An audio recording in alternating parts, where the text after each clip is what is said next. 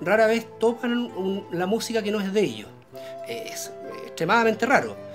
Pero en el caso de Violeta, que, que es música y letra, ellos van un paso más allá. O sea, la, hacen una, una reinterpretación de la música de Violeta. Nosotros ya culturalmente teníamos incluido en el repertorio de la casa a Violeta Parra. En el caso de Violeta es una invitación que nos hace una poetisa francesa, Eve Griliquez. Y fueron muy amigas con, con Violeta Parra cuando Violeta estuvo viviendo acá en París. Ella tenía un programa de radio en Radio France. Planificó uno de sus programas hacerlos en vivo y dedicárselo a Violeta Parra, donde iban a participar varios grupos, varios músicos. Nos comprometimos con hacer El Guillatún y Arriba Quemando el Sol. Todo el resto de los grupos eh, desertaron del proyecto y nosotros con el compromiso de hacer todo el concierto. De repente me llega un cassette e hice presentación de tributo o un homenaje, no me acuerdo exactamente, a Violeta Parra en los estudios de la radio y televisión francesa. Y así nace, nace este trabajo. Fue aquí, en Radio France, donde por primera vez presentamos obras de Violeta Parra y no se ha vuelto a repetir. Y esta idea se vino a retomar, a retomar en París, ya viviendo en París en los años 80, 80-81. Que el disco lo grabamos cuatro años después el sonido que tiene este álbum es eh, increíble. Yo creo que es uno de los mejores logrados a través de la historia del grupo. Ahora, ellos tomando esta obra, la recrean al estilo de los Jaivas, pero se convierte en algo más universal, porque entran en una onda también de lo que llaman algunos, en la línea de lo que trabajo yo, rock progresivo.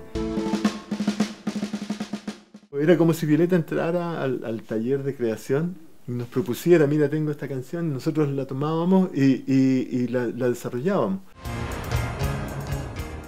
Las obras de Violeta Parra, la grabación que nosotros hicimos, la interpretación, creo que es una de las obras eh, que hemos tenido mejores resultados a nivel musical, a nivel técnico y también a nivel emocional. Fue un trabajo muy acucioso, muy detallado, muy, muy con, las ganas, con, el ADN que uno tiene adentro, con la identidad, toda esa cosa del chilenismo, del latinoamericanismo, de los pueblos hermanos, de la música, de todo lo que habíamos aprendido hasta ese momento, el que había que plasmarlo en un, en un disco, en una obra.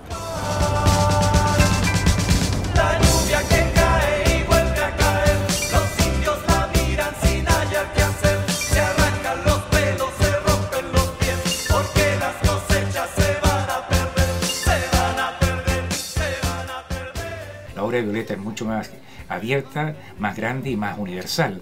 Y perfectamente es considerada por su vigencia a través del tiempo, que lo que realmente valora una obra, un verdadero clásico, no solo representativo del siglo XX, sino que también de la historia de la música chilena. Ya no son los españoles. Yo diría que la Violeta es una piedra angular de la música chilena y de la música latinoamericana en general. Ella representa el espíritu, representa la identidad, representa la fuerza.